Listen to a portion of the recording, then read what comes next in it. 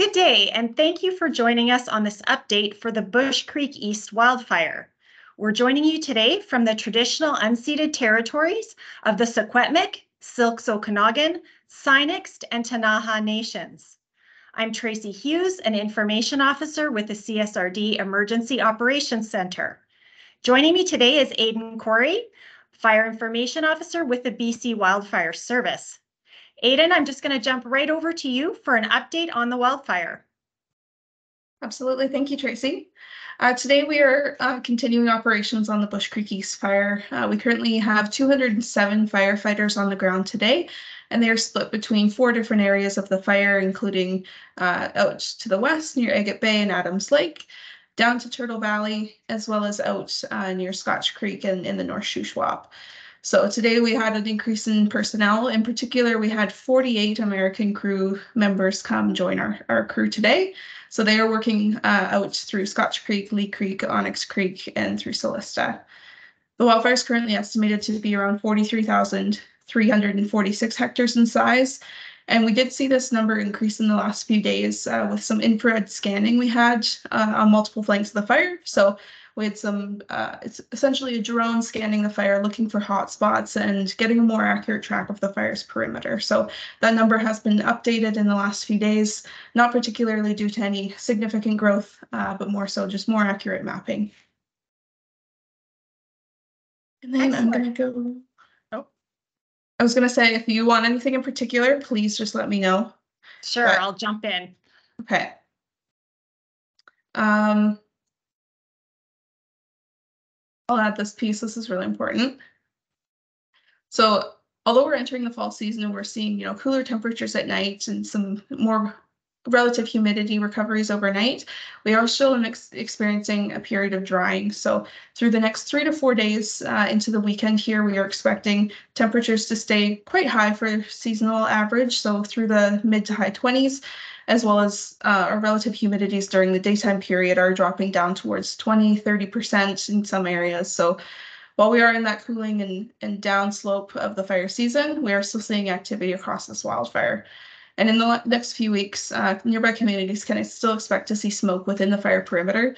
This is really common on large wildfires, just like the Bush Creek East fire. Um, these fires burn very deep and um, you know, while it is a very big fire, it's also burning quite uh, deep into the fuel, so in the root systems and the organic material.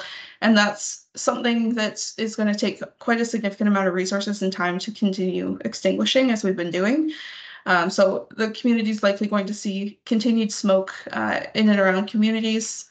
Uh, if you see fire that's well within the fire's perimeter. This is very common, um, but typically not a concern. We are uh, very aware of, of the activity that's happening in and around, uh, particularly in Scotch Creek and Turtle Valley, Sorrento areas uh, with highly visible smoke. So if you are seeing that, know that we are continuing to monitor from the air, looking for these uh, hotspots, using our infrared scanning to identify those hotspots and pr prioritize them accordingly. Uh, but if you are seeing smoke rising from green unburnt fuel well outside the fire's perimeter, that should that is something that you can report to our 1-800-663-5555 phone number. Uh, they do take reports of fire 24 hours a day. Uh, so if you are believing you're seeing a new new start that is unrelated to Bush Creek East wildfire, please go ahead and report it. Thanks, Aydan. Yeah, we've certainly had calls here uh, from folks who are seeing smoke, seeing flare-ups, especially at night, um, and wondering what to do. So that's that's really helpful. Um, the other piece um, I was hoping you might address with uh, with people is um, the communications from BC Wildfire going forward. Um, so what's your plan for uh, for continuing to inform the communities? Yeah, so we still will have an information officer assigned to this wildfire uh, for some time here. Uh, recently, we ended the community bulletin communication that goes out every other day. And that was more so just a formal uh, document that has the information formatted in a brief, succinct document that goes to a specific, um, you know, distribution. And that's one method of communication that we use. But we also update uh, the Wildfires of Note page on bcwildfire.ca every single day. And the information that is usually included in those bulletins is on the website every single day. Um, so that is still going to be ongoing as we're responding to the wildfire. Excellent. Thanks so much, Aydan. Um, anything else you'd like to add for the audience here? Um, I think that's about all from me, but if you'd like, I can uh, give a quick tour of the website so that folks can can understand where to find that information the best. Sure, that would be excellent. Thanks. Sure. I'll share my screen here.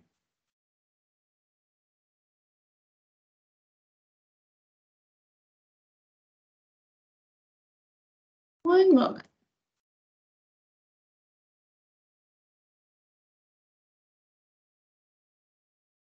All right, so from bcwildfire.ca, uh, you can select the current wildfire situation map.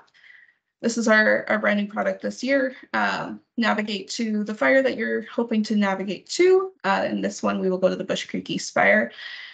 If you select the wildfire icon, say full incident details, it will take you to the specific page for that wildfire.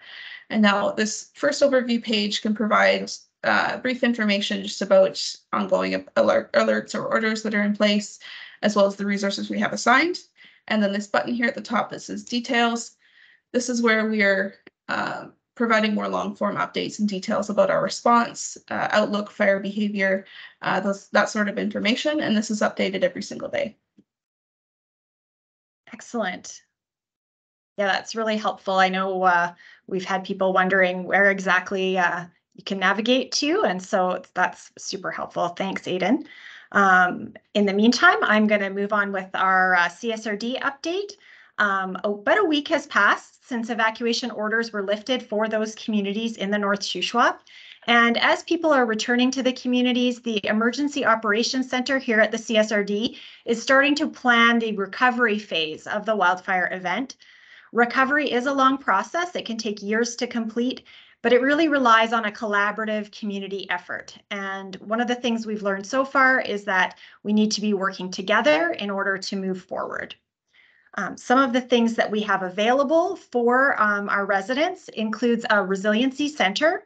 So no matter what your situation, the staff at the Resiliency Center are on hand to assess your individual needs and connect people with the resources that they may need, support services. You can attend uh, our Resiliency Center in person at the Fairfield Inn and Suites, which is located at 790 16th Street Northeast Salmon Arm. Or you can call the team at 250 833 3400. Our Resiliency Center is open seven days a week from 9 a.m. to 4 p.m. Some of those services include access to Service BC, Service Canada, Interior Health, the Red Cross, and other community based organizations, all with expertise in areas of recovery. So, for example, if potentially you have lost documents to the fire that are important, um, your passport, for example, uh, Service Canada will be on hand to assist you with some of those things. Um, emergency support services also remain available from 10 a.m. to 2 p.m., seven days a week, and that is in the same location at the Fairfield Inn and Suites. We also have coming an upgraded recovershuswap.ca website. It's in the works and it will be continuing to provide information. Currently, our returning home guide is available on the recovershuswap.ca website, but we're going to be fleshing that out with additional information in the uh, in the days to come. So please check back there.